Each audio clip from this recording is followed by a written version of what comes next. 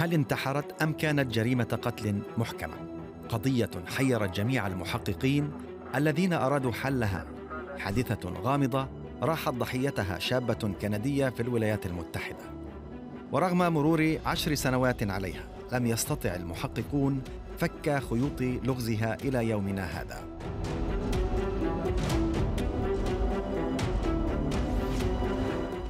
الاسم إليسا لام. المكان لوس أنجلوس أمريكا.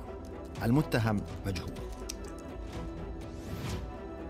في أحد أيام الشتاء الباردة في يناير عام 2013 كانت الطالبة الكندية إليسا لام البالغة من العمر 21 سنة في عطلة بمدينة لوس أنجلوس الأمريكية.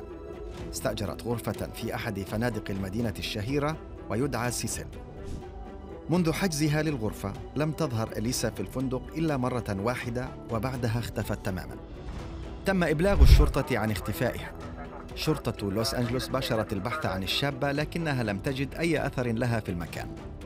ولدى مراجعة كاميرات المراقبة وجدوا هذا التسجيل المريب.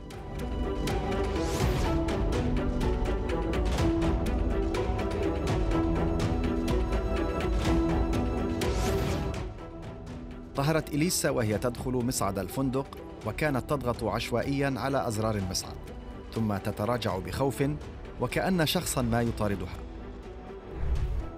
تنظر خارج المصعد ثم تدخل وتنتظر الباب ليغلق لكن الغريب أن باب المصعد لم يكن يتجاوب معها وهنا بدأ الجزء المرعب من تسجيل كاميرا المراقبة.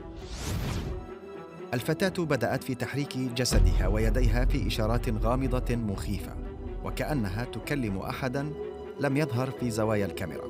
ثم تخرج من المصعد لتختفي نهائيا ويعود المصعد للعمل بشكل طبيعي.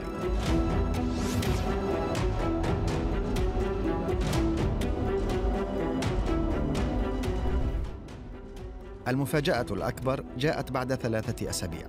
تم العثور على إليسا. الشرطة وجدت الشابة جثة هامدة نصف عارية في مكان لم يخطر على بال أحد. إليسا كانت داخل خزان مياه محكم الإغلاق على سطح الفندق.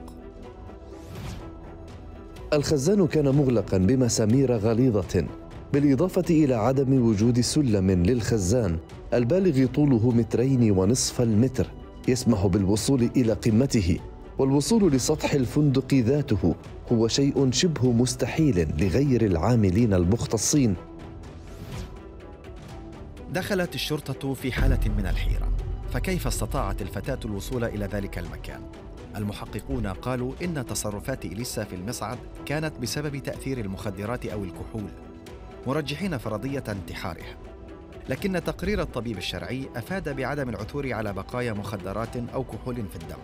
والأغرب عدم العثور على أي أثر لضرب أو مقاومة أو عنف أو اعتداء جنسي في الجثة.